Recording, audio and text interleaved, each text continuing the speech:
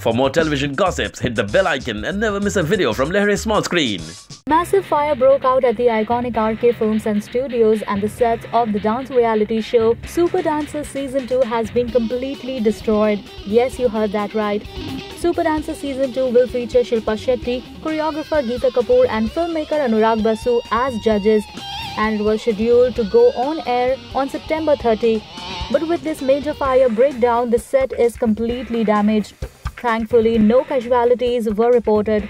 A source has told to a leading daily that luckily no one has got injured on the set of the Sony Entertainment television show was locked and no one was shooting. We shot at the location last week and the next shoot was scheduled for September 29 and 30.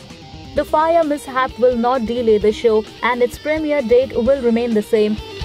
Well, now we will have to wait for an official statement from the makers. So, guys, what are your thoughts on this? Tell us by dropping in your comments.